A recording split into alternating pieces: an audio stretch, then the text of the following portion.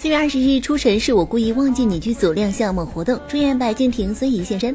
当天，孙怡身着红色休闲外套，内搭白 T 恤，下着浅蓝色牛仔裙，扎着丸子头，显得十分清新少女。一双大长腿十分抢镜，身高都和白敬亭一样高了。不仅仅是身高，孙怡的身材也是十分的苗条啊。据悉，之前在《快乐大本营》上，何老师还爆料说，董子健和孙怡拍照都要垫一个苹果箱。不知道大家有没有觉得孙怡最近越来越美了？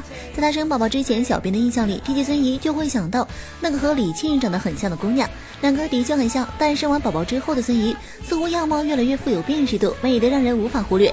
人不仅更美了，孙怡的演技道路简直开挂了。人生若如初相见已经开播过半，剧中和孙怡搭档的是有着未来唐人一哥之称的韩东君，长相与演技齐飞。这次两个人的屏幕情侣身份，大家喜欢吗？还有一部《两生我们可不可以不忧伤》，这部剧是自带流量的 IP 之作，因为小说的知名度，所以这部剧未播就先火了一把。孙怡携手钟汉良、马天宇共同出演。最近孙怡又拿下新剧《出神是我故意忘记你》，这一次和孙怡搭档的是男神白敬亭。想想孙怡还真是个男神收割机，搭戏的男主个个大长腿，期待这次孙怡和白敬亭可以演出观众期待的感觉吧。